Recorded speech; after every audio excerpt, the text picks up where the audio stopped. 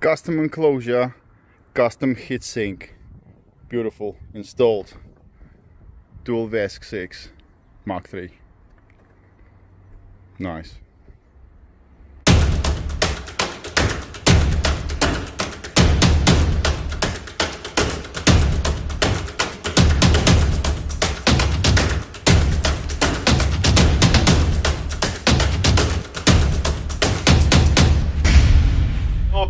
all the fanatics of electrical skateboarding. Pavel here again. Welcome back to my channel. Next video. Today we're going to talk about uh, heat sinks for uh, VESC uh, 6 Mark 3 or Mark 4. Uh, these were custom made for for us in Skate Freedom Group. I kind of came up with an idea and before just ordering one for myself I thought why don't I ask people and yeah 12 people backed me so we ordered 12 of these units and they did come in all of them. Really really nice. Every unit will come with a set of screws that you require to actually install uh, the uh, VESCs onto the heatsink and also to install the heatsink onto your enclosure. There were some people who did criticize the idea because obviously I do uh, like upload stuff on Instagram and uh, different uh, different media uh, uh, platforms. Uh, so just to explain uh, the, my thoughts behind this idea. Yes, VESC 6s by Trampa, they do come with the heatsink already. Okay, that's that aluminium box. That is awesome. But if you are using the um, the VESCs on actual Trampa, uh, they probably designed, or I think they are designed so that uh, the aluminium is actually pushed to external so the heat can get away. I do I do love DIY, yeah, and uh, as you know, I'm going to be installing the VESCs into the fully sealed fiberglass enclosure. So what's the point having the um, heat sinks if you're actually going to enclose them inside fiberglass enclosure? The heat is going nowhere. Plus inside this enclosure I have my battery, I got my switch, I got my receiver. So the least heat inside there the better it is in my opinion. So the only way to actually get the heat out is to get something that can absorb heat and actually transfer it outside. And this is where the ribs come very handy because this is going to dissipate the heat. Having the cuts increases the uh, surface, contact surface with air. And the cuts actually going to protrude through the enclosure outside uh, this little lip all the way around is going to give me a chance to seal it to the enclosure. So it's going to be completely watertight. And we'll get rid of that heat not just from the uh, VESCs but also from the actual heat inside the enclosure because it's going to uh, get soaked into the quite heavy.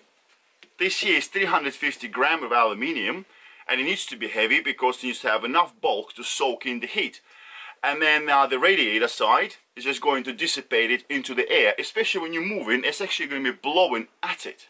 So that's my idea. And uh, this will be available soon on actual 3D Services website. Uh, you're not going to get them as cheap as we did on eSkate Freedom but well we backed the idea. We gave the idea to eSkate Freedom to uh, sorry to 3D um, Services to come up with this which is great. So we get a bit of a discount. So us lucky ones get 20% uh, off. Brilliant. Uh, will be uh, sending this out uh, starting Monday. Yeah, there's some from Italy, Belgium, uh, there's a couple of like European countries. They go into Czech Republic and bits and pieces. So don't worry, it's coming out to you. By the way, to uh, everyone who's curious, there's no profit. I just done it for the love of the hobby. Yeah, it's just uh, exactly what I paid for these because I had to actually pay for all of them at once to get the uh, the discount. Uh, plus a little bit of uh, postage, whatever it is, I'm gonna send you the receipts out. Well, and that's it really. the quality is absolutely perfect. I did request for the screws to be black. So as you can see, this is now two uh, VESCs installed. And that's how they're going to look like. And another big, big plus. Normally, uh, I think most of the DIYers, what we do with these Cs, especially if they like uh, uh, not the Trampa ones, for instance, or not the Unity, I got the fixing screws, uh, you pretty much use either double-sided tape or you use Velcro, so you kind of stick them inside the enclosure. Well, I kind of got to the point uh, after building multiple boards that I want my latest boards, so these new boards, to be absolutely beautiful from outside and also on inside. So when you open up the enclosure, everything is neat and tidy. Uh, there's no blobs of silicone holding stuff down. Everything is actually purposely secured, okay? Like you would see on most of the uh, production boards. So imagine inside the enclosure, you will have something like this. Nice and neat. That's all you gotta do because the ESCs or VESCs are now fixed to the plate. Plate is fixed to your enclosure. So nice and nice and clean. Perfect. So if you need a uh, heatsink, uh, well, head on to uh, Services website and order yourself one of these. You're not going to be lucky enough to have eSkate Freedom engraved, laser engraved on it. It's going to be our 3D Services logo. Well, unless you're willing to pay for a lot of them and get them uh, custom made. That's it, guys. Uh, please ride safely. Please build safely. Please enjoy your life. Please enjoy electrical skateboarding. Uh, don't forget to subscribe to my channel. Anyway, see you soon, guys. Bye.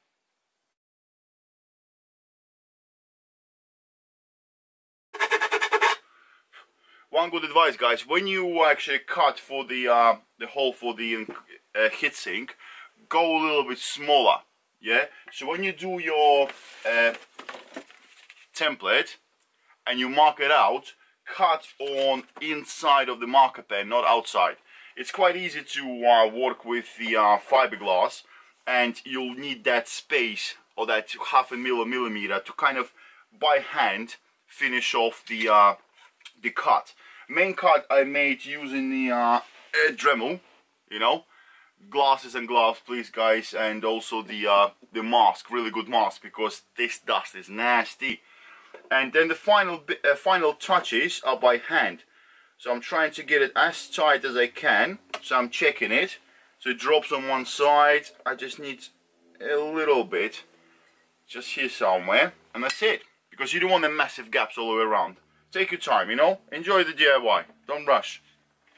It's the best part of it.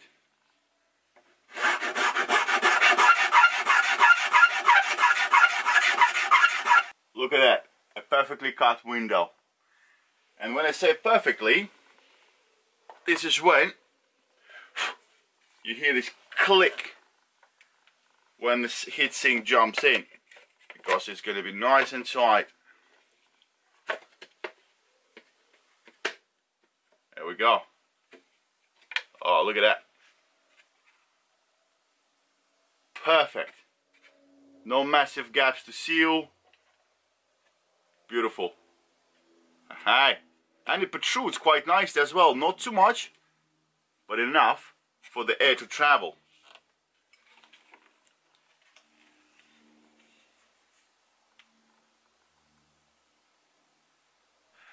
And this is how the perfect cut looks like.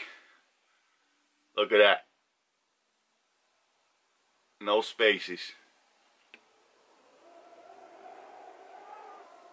Beautiful. Okay guys, so this is pretty much how the uh, heatsink looks like after it's installed. It does protrude quite nicely. Fins are out and uh, yeah, with the four screws, use the black ones, uh, the lock washer and a normal washer.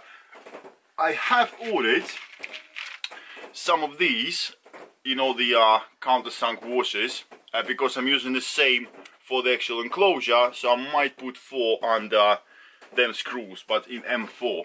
I don't know, I'll see. But I think black ones kind of hides it nicer. So, uh, just to mention, I have used a gasket. I don't know if you can see it or not, but in between the heatsink and the enclosure, I've got a uh, like a rubbery gasket like this self-adhesive so no water gets in and also I'm trying not to use uh, like a hot glue or silicones or anything like that on the builds because it makes it just neater especially if you have to take it apart makes it easier as well and now we're going to install the uh, VESCs with provided bolts and just a little dab of uh, thread lock uh, to hold them in place very happy. Looks neat. Okay, and the last look then, uh, the heatsink, now with all the screws in, and dual VESCs neatly installed. Look how nice this is now. Nothing needs to be glued, stuck down or whatever. It's there, that's it, fixed. It's not going anywhere. Lovely. Aha! So you are still watching. That means you are interested in this uh, part. That means you probably want a bit more info. So let's see how heavy this heatsink for VESC 6 is actually in real life. It is 359 gram of solid high quality aluminium so the heat will be dissipating really really nicely. The holes are threaded for you already pre-threaded so when you fit it to the enclosure yeah there's no nuts uh, to worry about. Ha. so physical sizes. So this is your I don't know width I guess. So the width of this enclosure uh, sorry uh, heatsink is 145 millimeters so 14 and a half uh, centimeters. This way it is 95 millimeters. And thickness thickness is roughly about 15 mil I would say. Hold on. Let's not do roughly let's do exactly. And the thickness of it is 13.2 millimeters. And the thickness of this uh, wall they're actually going to stay inside the enclosure. It's 5.4 there we go. Now you know everything. And I think the costs of these uh, from uh, 3D services later on will be 45 or 50 euros plus 22% uh, tax uh, the VAT and uh, yeah it needs to be paid plus obviously delivery Uh, whatever it costs to send it. Well that's it